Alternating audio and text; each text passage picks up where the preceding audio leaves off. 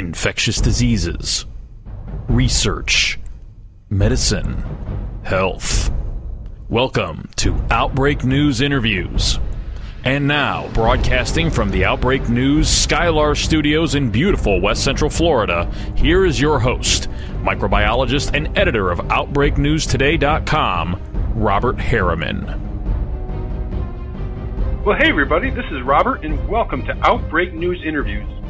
Now, there are many types of heart arrhythmias, with atrial fibrillation, or AFib, being the most common type of serious arrhythmia.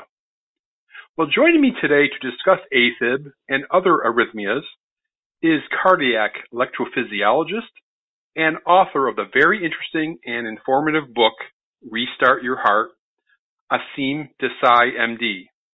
Dr. Desai, welcome to the show, sir. Thank you, Robert. Well, let's go ahead and start out with the book itself, Restart Your Heart. Why did you write it? Um, you obviously thought there was a need, right? Yeah, absolutely. That's a great question. Uh, I'd like to just take a step back and maybe define a few terms for the audience. Sure. Um, you know, the heart, heart's an engine and it's got a plumbing system, it's got valves and it has electricity. And the electrical aspect of it is interesting because the heart itself is able to create its own electricity and make the heart beat. Then it's also connected to the brain and there's a back and forth through what's called the autonomic nervous system, which we'll touch on a little bit later. So with the heart's electrical system, abnormal rhythms can occur, and these abnormal rhythms can occur from any of the four heart chambers, the two on the top, the atria, and the two on the bottom, the ventricles. And that's what's defined as a cardiac arrhythmia, an abnormal heart rhythm. So atrial fibrillation, AFib, as you mentioned, is the most common form worldwide. And so chances are in the audience, someone either has AFib or knows someone who has AFib. And in fact, the latest statistics indicate that one out of four people, one out of four over the age of 40 will get AFib at some point in their life. So that includes everyone that's listening. That includes you and me. And you asked the question about why I wrote the book. And so it actually started out with a grieving process. So I lost my mom suddenly to a cardiac arrest and everything happened so fast that I really didn't have time to process it. And being a philosophy major from college, I always liked to write. And so I started writing about that experience and writing about my own personal experiences with health, either family or myself uh, as well.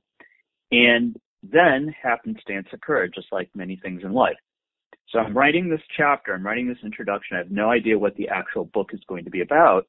And I walked a gentleman out of our heart rhythm clinic one day and he had been in atrial fibrillation continuously, which is called persistent AFib, for about five years. And in the past, we would have said there's really no way of restoring his rhythm. The heart's a muscle. When you go into AFib, it develops a muscle memory for AFib. There's a term AFib begets AFib. So chances are we wouldn't be able to get him back in a rhythm. That's what we would have said even a few years ago. However, due to advancements in our knowledge of AFib as well as the technological advancements and techniques, I was able to get him back into rhythm. And so he turned to me. He had already seen two other cardiologists and he already had his primary care physician and everyone told him, you know, we wish we could do something, but there's really no treatment that could get you back into rhythm and keep you in rhythm.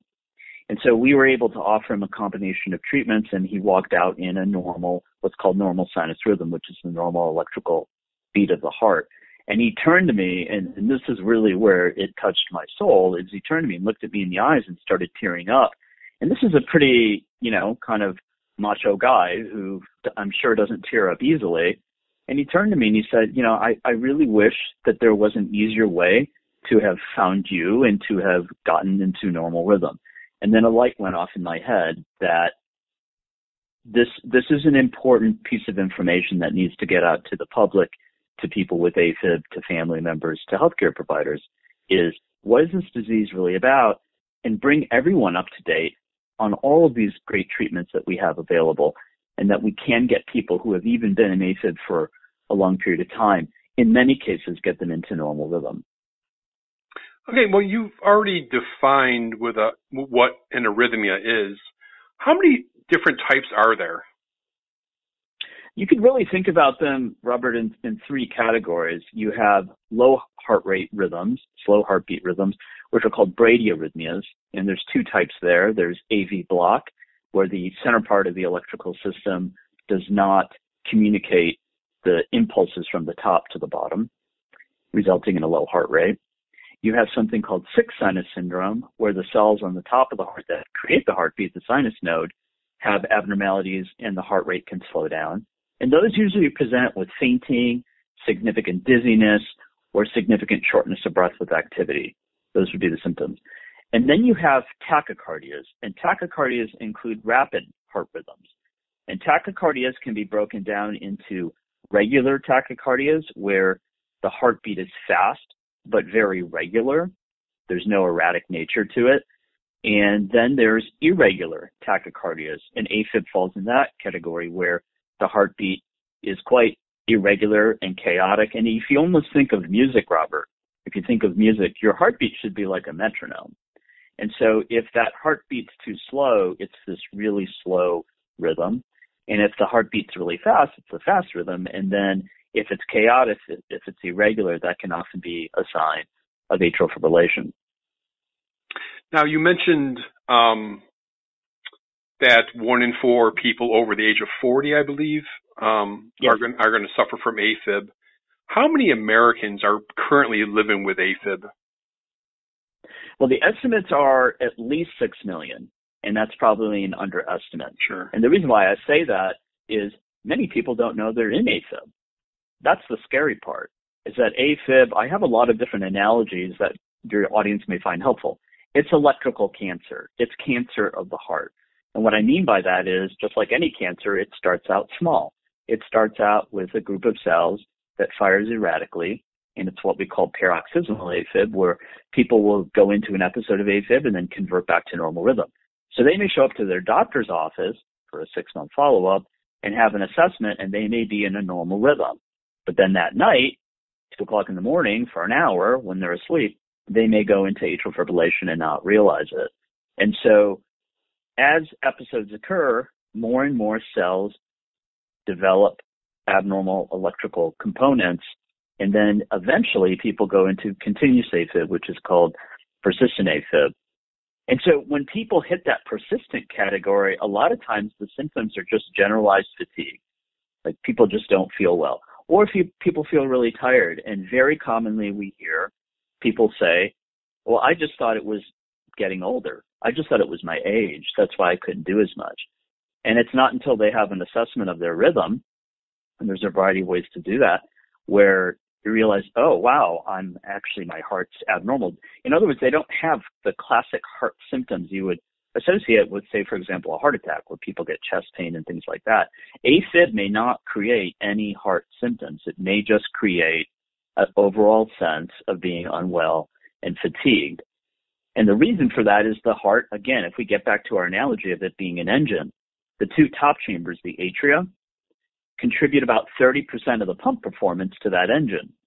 So when those top chambers do not contract properly, which is what AFib is, it's not an effective contraction, then the pump performance is reduced. And as a result, one of those classic symptoms can be simple fatigue. So 6 million Americans at this point are, are the general estimates. It's estimated that up to 16 million by the year 2050 will have AFib. The number one risk factor for AFib is getting older. It's like arthritis of the electrical system. Just like you get scar tissue in your knee, you get scar tissue in your electrical system. So that's the number one risk factor for it. That's why it's such a common condition. And it's not just obviously in the US, it's, it's worldwide. Sure. And so that, and, and it's estimated that about 750,000 people per year are hospitalized for something related to AFib. Yeah, so, so this, this, what's the cause? And the reason I ask is I, like I said before we started the interview, that I suffer from supraventricular tachycardia, SVT, which is similar but different. Um, and I'm in my 50s, and it just appeared, you know, a few years ago. Um, do do we know the cause of AFib and some of these other arrhythmias? How they just pop up like that? Yeah, I mean the the body's interconnected, right? And the autonomic nervous system, which is what controls all the body's vital functions, connects the brain to the gut, the brain to the heart, is is intimately involved. And so when you look at the risk factors for developing AFib, it's a whole host of conditions. One of the number one risk factors, besides the age part that I mentioned, is obesity. Obesity creates an increased risk for AFib, diabetes, high blood pressure, valvular heart disease, valve heart disease in the heart, sleep apnea, which is a tremendously unrecognized trigger and risk factor for AFib, thyroid disease, heavy amounts of alcohol use, SVT, and other cardiac arrhythmias act as risk factors for AFib. One in particular called WPW or Wolff Parkinson White that often kids will get diagnosed with has an independent risk for developing atrial fib. And in fact, when we've done ablation, which is a curative treatment for a variety of different heart rhythm disorders, including SVT, which has a very high cure rate, we will actually see the SVT literally shift into atrial fibrillation during the procedure. Hmm. So it really tells you that there's this interconnection of the electrical tissue in the heart and with the body. And you can almost think of Robert as AFib as a sign of a body out of balance. And whether that's what someone's consuming or whether that's different disease states that are out of balance. And what's interesting now is, you know, I mentioned age over 65 is a is a big risk factor, age. Well, now we're seeing a lot of athletes getting AFib. Right. And there's a very interesting component to that. It's that brain heart connection. It's that autonomic nervous system. When you think of athletes, you think of low heart rate. And low heart rate is a sign of a conditioned heart. If you're not in good shape, your heart rate tends to run faster. If you're in good shape, if you run or play sports, your heart rate tends to run slower. Well, it turns out too much of a good thing is not a good thing. And so when that heart rate is really low, it's easier to trigger AFib. That's why people often get AFib at night when the heart rate slows down. And so athletes, and especially if you think about these high endurance athletes, the runners, the cyclists, and then the pro athletes, football players, for example, they have a six times increased risk of AFib, pro football players. And there's different reasons for that.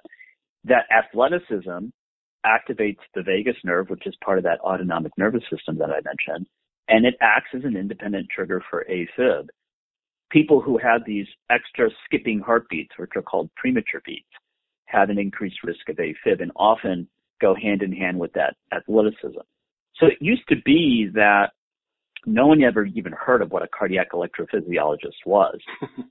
and now we've seen over time, because these rhythm issues have become so much more common, especially AFib, that the field of electrophysiology is now being more widely known by the public. So we're cardiologists, but we specialize in AFib. We specialize in the electrical system of the heart. Um, Dr. Desai, what are the early signs of AFib and, and how do you diagnose it? That's a great question, Robert. So, you know, the classic symptoms that we talk about are what are called palpitations, which is a sense that your heart is doing something wrong. It's either beating fast or beating irregular or a combination of the two. And so palpitations often will occur in younger patients, and palpitations occur with SVT and a variety of other rapid heart rate disorders ventricular tachycardia and a variety of others. But with AFib, you can have palpitations, and it's like a light switch. That's how that's how these heart rhythm disturbances work in the beginning. So you're just hanging out with your friends, and then suddenly your heart rate takes off, and that's that sensation of palpitations. And the reason for that is again at a lower heart rate at rest, it's easier to trigger these abnormal rhythms. But it turns out that in older patients, oftentimes the palpitations are not a classic symptom. People may just feel short of breath, may have chest discomfort, dizziness, and I mentioned extreme fatigue. And so the early signs of AFib, which is that paroxysmal AFib, is there's there's times where people feel terrible and there's times where people feel good. And and that's when they're flipping back and forth. And then they just go into feeling terrible and that's that continuous AFib. So classically AFib is diagnosed and other rhythm disorders are diagnosed by the electrocardiogram, the EKG, where you're in a doctor's office or an emergency room. They hook up a set of electrodes to you. And an EKG is basically a way in which we can assess the rhythm of the electrical system from a bird's eye view.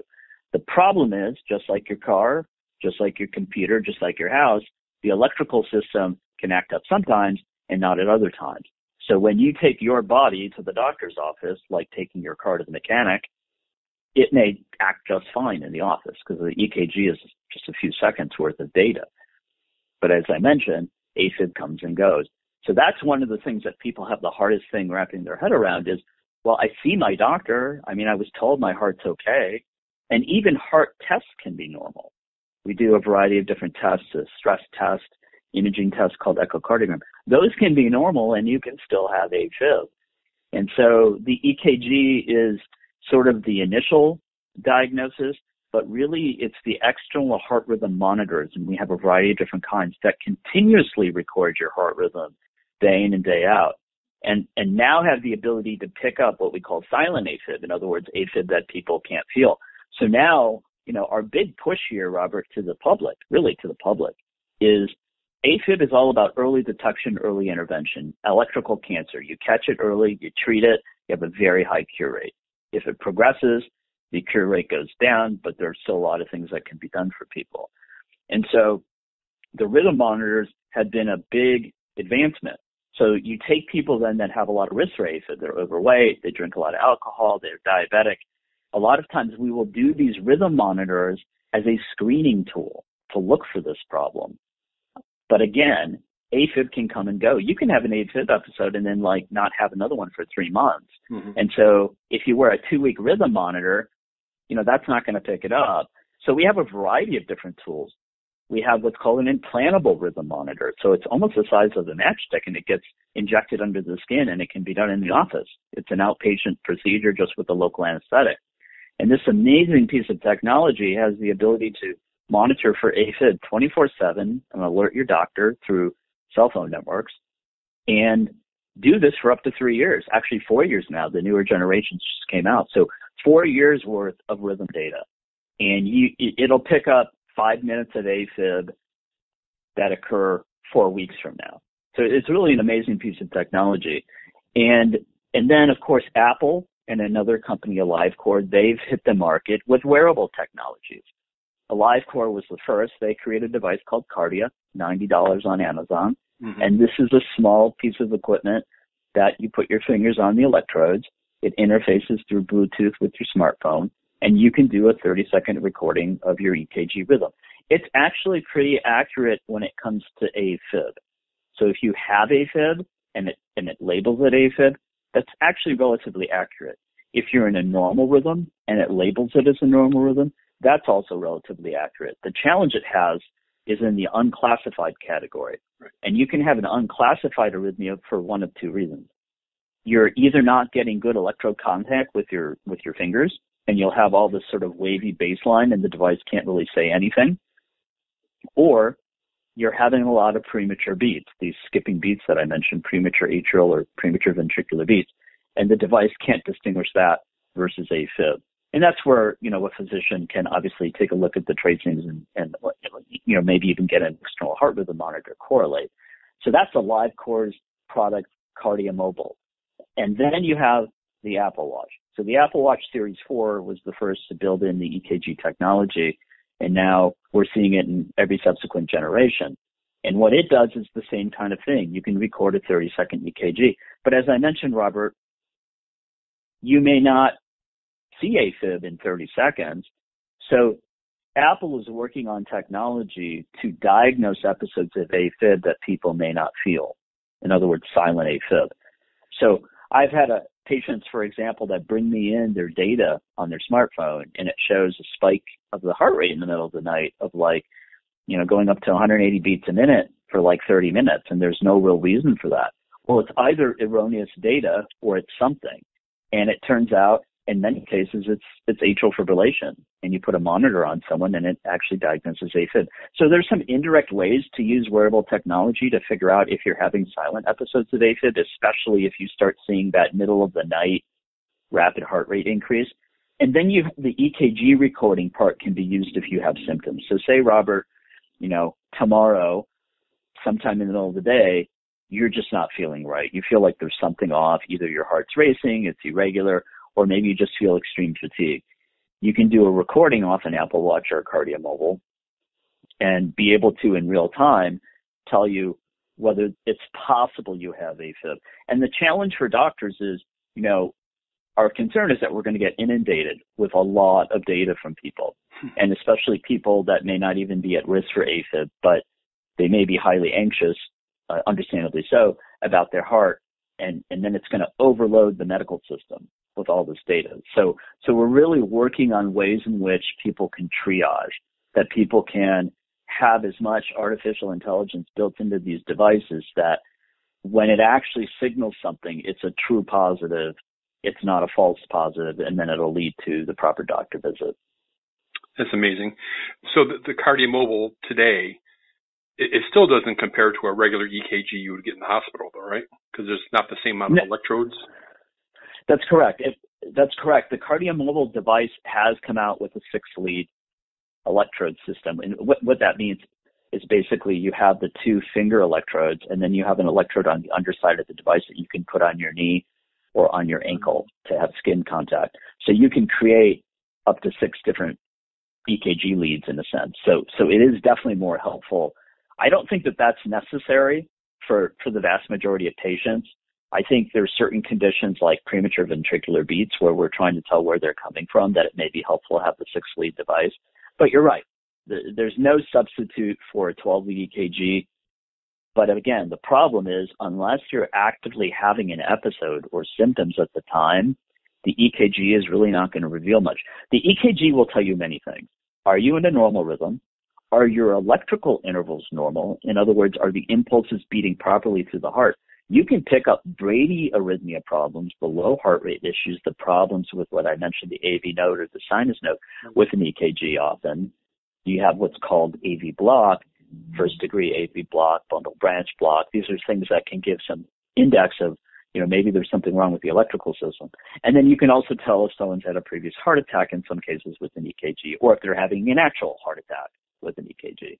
In fact, the Kardia Mobile device that was developed by Eric Topol, who was previously the chair of cardiology at the Cleveland Clinic. He's now at Scripps in Southern California. And Eric developed this device in conjunction with the AliveCor. He actually diagnosed someone with a heart attack on a plane with that little Kardia Mobile device. That was actually one of the first applications well, of it. It's not recommended. It's not recommended to be used in that context. But the point being is that you can get a lot of data from those devices. Yeah. Um, let me go ahead and switch gears a little bit and talk about treatment and control. And there's a number of treatment and control plans for AFib. Uh, Dr. Desai, can you discuss um, some of the things that are available out there? Absolutely. And then maybe before we touch on that, let me just highlight the three most critical aspects of what happens if you get AFib. Sure. Stroke. So stroke is one of the number one results of AFib, catastrophic stroke. And if you look at people who come into the hospital, one out of five patients who come into the hospital with a stroke, it's due to AFib. And it, again, people can show up in a normal rhythm but they had AFib at home and that was the trigger for the stroke. Because when the heart doesn't contract properly, a blood clot can form and it can travel to the brain and cause a stroke. That's the mechanism. Mm-hmm. So one of the first things that you do when you assess a patient, you mentioned treatment, is determine their risk of stroke and determine whether they need to be on a special blood thinner or, or get a, a device to help prevent them from having a stroke. So stroke is one of the most catastrophic. And then congestive heart failure. If the heart is beating fast for long periods of time, it can weaken the heart muscle. Congestive heart failure. That's one of the number one reasons people come into the hospital with AFib is because they're in heart failure. And then the third is a significant reduction in quality of life. You know, these people are terrified. I mean, I've had patients that do not want to travel. You know, this is obviously pre-COVID, but do not want to travel because they're not near a hospital. Right. Because they're afraid that if they're not near a hospital, there's a procedure called cardioversion where we shock the heart back into rhythm, and that's often done in the acute setting of AFib. It's it's not a it's not a treatment. It's really it's designed to treat a specific episode if someone's not getting back into normal rhythm on their own, but it doesn't prevent further episodes of AFib. But that being said, it reduces quality of life. And so you asked about the treatments. Well, the treatments you, you have to take a holistic, integrative approach to any medical issue nowadays. And, and AFib is no different. So as electrophysiologists, we were very narrowly focused. Now, we were focused on ablation, ways that we can freeze or cauterize the circuits. You go to most of our international meetings, it's all about ablation. Well, we finally started opening our eyes and realizing that you can ablate someone, But if that person's overweight, if that person's drinking alcohol, if that person has unrecognized sleep apnea, if that person's blood pressure is uncontrolled, that AFib is going to come back. That AFib, AFib is a systemic disease. So now we've done many studies showing if you take two people, one who does risk factor and trigger modification, and what I mean by that is losing weight, getting their blood pressure under control, really cutting out alcohol is what should be done, versus someone who doesn't, the outcomes of any treatment, whether it's an ablation, a drug, or what have you, are going to be better. I've had patients that have undergone up to four ablations, even at the Cleveland Clinic. And once they lost the weight, they went into normal rhythm. Hmm.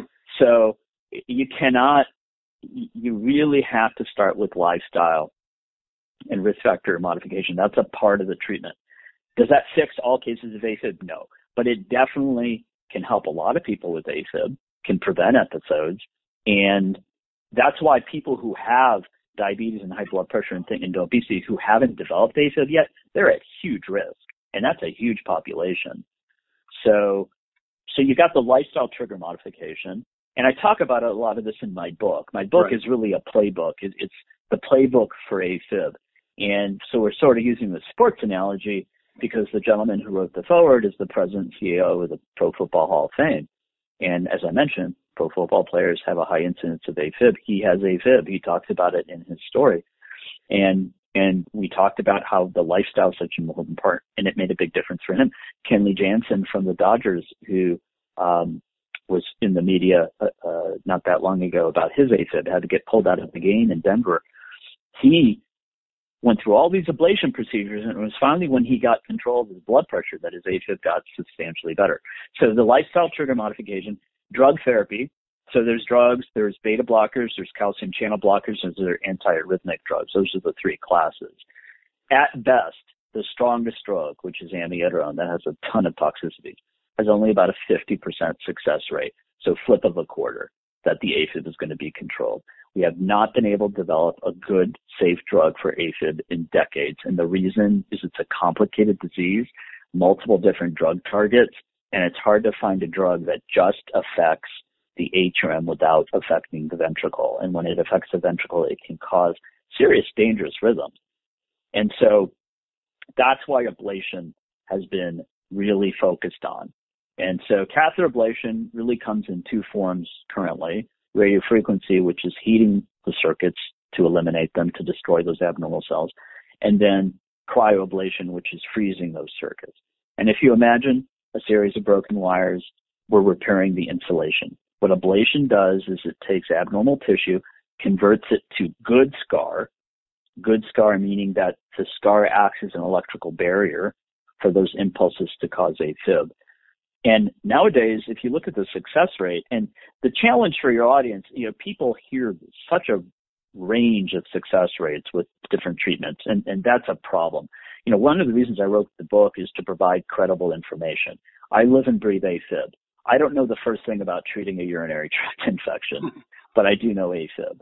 And the problem is that you don't have great credible information out there and, and, and this is from even healthcare providers because AFib is such a rapidly moving target. It's nothing against anyone. It's just that if you don't live and breathe this disease every day, you're not going to know the latest treatments uh, available.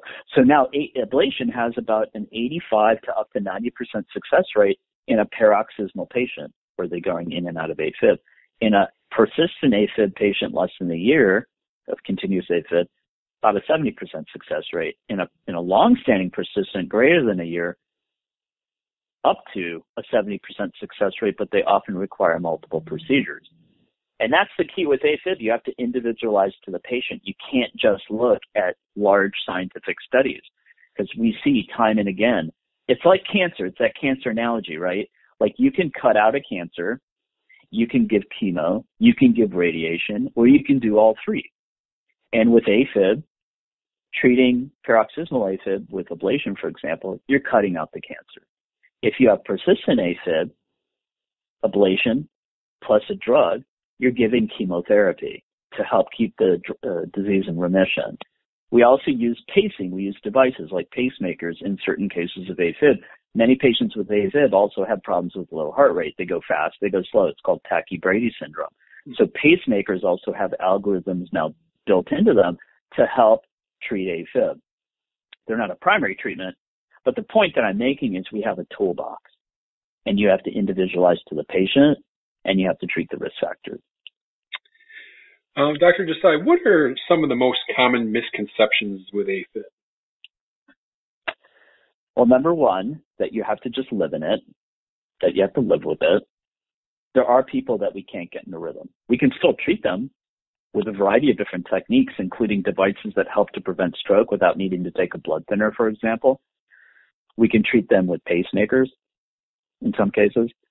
But the vast majority of patients with AFib, I would argue, and many of my colleagues would support that, are actually treatable. Like we can get them into rhythm and it may involve an ablation, it may involve a drug, it may involve some combination of treatments. But there's actually at the American Heart Association, the meeting is going on right now, the American Heart Association, and there are two late breaking trials that came out that basically showed that if you go to ablation first rather than going to a drug, you are going to have a better outcome.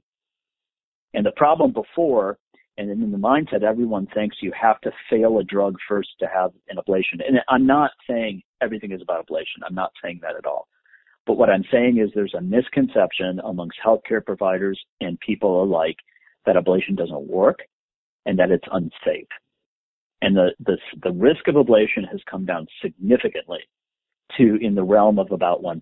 So now you're talking about procedures that have, you know, up to a 90% success rate with 1% risk, you're starting to get into a category where the treatment really does make sense for a lot of people. I'll continue. You got more to say about that topic? Oh well, I was just going to say, you know, the the the other misconceptions are that alcohol doesn't really impact AFib, or if one glass of alcohol, not a big deal. Hmm. Well, it turns out that one glass of alcohol has a 8% risk of triggering an AFib episode. So we are very adamant to people that if you want to prevent an ablation, if you want to prevent this disease from getting worse, stop drinking. It, it's got a direct effect on the electrical system. It dehydrates you. It causes electrolyte imbalance. And so, so that's another big misconception. And probably the third is you know, I'm not at risk for AFib. My heart's okay. I've been checked out. And again, like I said, if you carry the risk factors, you know, you could get it. And that's why people need to at least get into the habit of checking their pulse every day, whether it's in their neck, in their carotid artery, or their wrist, their radial artery, or they're wearing a device or something. It needs to be part of your daily routine, you know, just like checking your blood pressure, just like every other aspect of a, of a healthy lifestyle. You need to also monitor your heart's rhythm.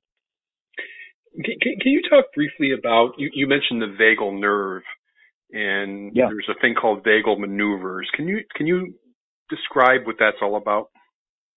Yeah, so you know you have your fight or flight response, right, Robert, which is the sympathetic nervous system. You know these are evolutionarily designed for us to survive. You know what what causes our heart rate and blood pressure to go up when we're under any kind of physical uh, threat is, is what allows us to run away from that dinosaur or that saber-toothed tiger, right? Right. And so, but now we don't have as much of that physical threat, although COVID would be a good argument that we'd still do. We have emotional threats. We have mental threats. We're in a fight at work. We're in a fight at home. You can get the same kind of adrenaline response, and that can be bad for your heart. I wrote an article that actually showed that AFib is an independent risk factor for developing burnout and vice versa if you have job burnout, you're actually at independent risk for developing AFib. There's actually data on that from, from studies. And it illustrates this, this negative impact of the fight or flight response. Well, you asked about the, asked about the vagus nerve. So the parasympathetic nervous system is the counterbalance to the sympathetic nervous system. It's the rest and relax response. The vagus nerve is the primary form of that. It causes everything to slow down. So generally, that's a good thing. But as I mentioned, especially in high endurance athletes, by slowing the heart rate down too much, it can actually increase risk of AFib. There is a genetic component to AFib. We are now learning there are there are multiple genes that can be involved, and hopefully we'll get to a point like breast cancer and other cancers where we can identify these genes, so we can uh, have other ways of identifying who's at risk, for example, of getting AFib. you know, especially in the realm of uh, athletes. So the vagus nerve directly has input into the heart's electrical system, into the sinus node, into the AV node, the two central portions of the electrical system. Um, and, and so it can be a trigger for AFib, but it can also treat arrhythmia. So SVT, for example, supraventricular tachycardia, it requires the AV node, the central portion of the electrical system, to sustain the circuit. So if you imagine a merry-go-round, SVT is like your heart getting on that merry-go-round going really fast. So we have to figure out a way for that merry-go-round to stop. So a vagal maneuver is where you activate the vagus nerve on purpose and the vagus nerve actually slows the heart rate down. You're using it to your advantage. And you can do that through coughing. You can do that through bearing down, which is called the Valsalva maneuver.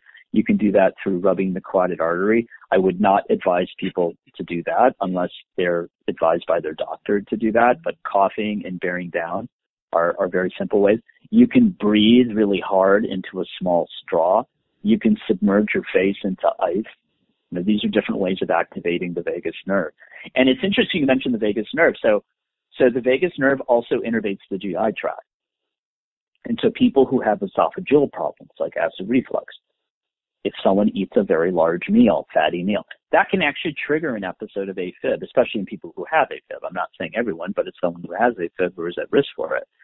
So it's a very interesting interplay. This vagus nerve, the sympathetic nervous system, we're still learning more and more about it. That's probably going to be the topic of my next book is how the heart and the brain are so intimately connected. Because we know this about the GI tract. We know this about the gut.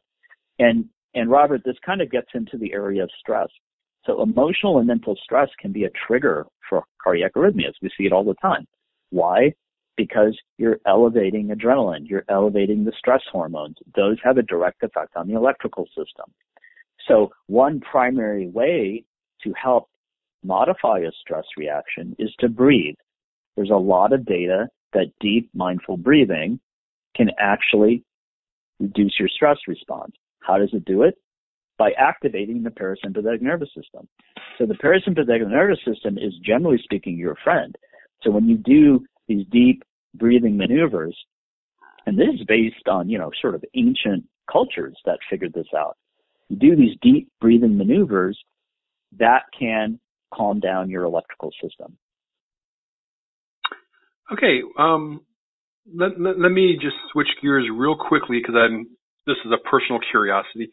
Um, can you talk briefly about SVT and what's the difference between that and AFib?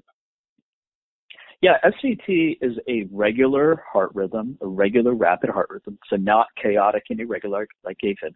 It's typically not associated with stroke.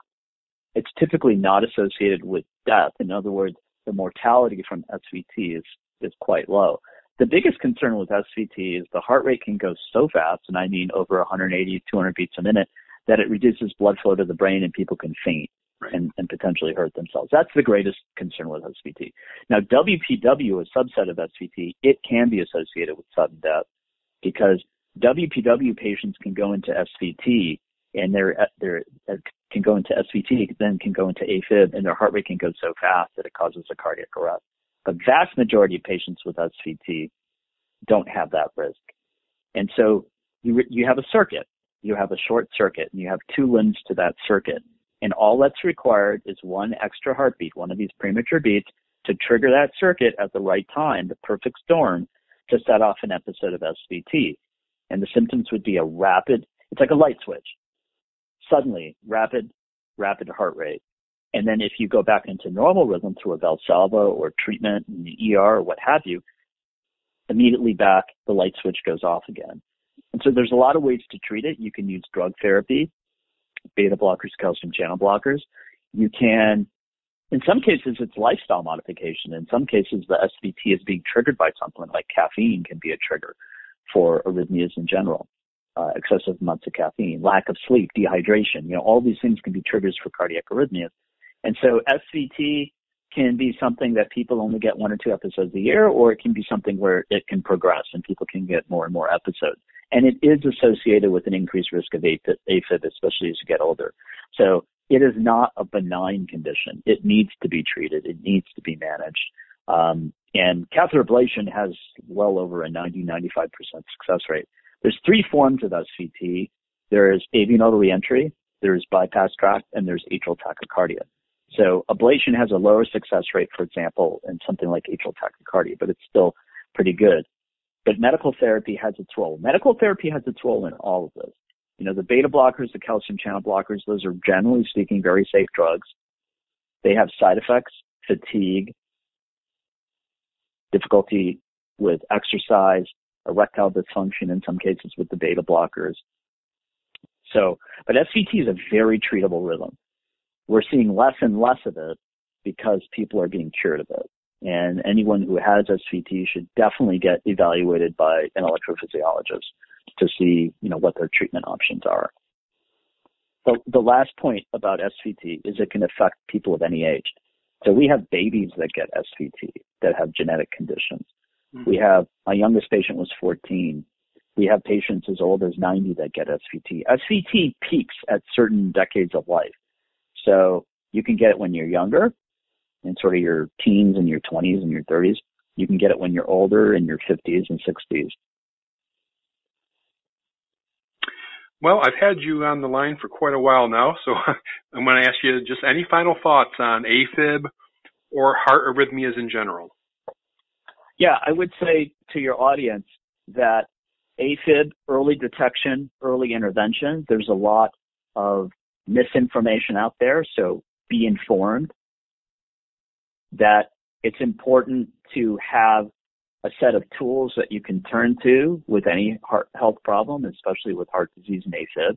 Things that help you modify stress, things that help you keep a fit lifestyle because that will reduce your chances of AFib. That AFib is a major cause of stroke, unrecognized, that people can walk around with silent AFib, and that we have lots of great treatment options nowadays. And my book really goes through the whole gamut of our conversation. Um, it's available anywhere books are sold. We'll be running a couple of holiday promotions. Uh, it's available on Amazon and Barnes and Nobles. And I'm very active on social media. So my website is draseemdesai.com, D-R-A-S-E-M-D-S-A-I.com. I have a blog, lots of great information on there. And then my handle for social media is at Dr. Aseem Desai. So I'm on Instagram and Twitter and Facebook and LinkedIn. Uh, I encourage your audience, if they have any questions, feel free to message me. Well, very good. And yes, I read this book, and he is absolutely correct. Uh, he does cover all the stuff from this interview and much, much more. is really outlined very well.